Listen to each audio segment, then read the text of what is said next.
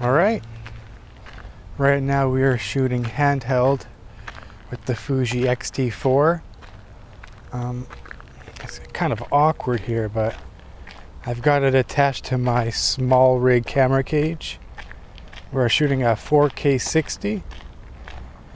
We are with IBIS plus OIS enabled, along with face detection and eye detection turned on auto.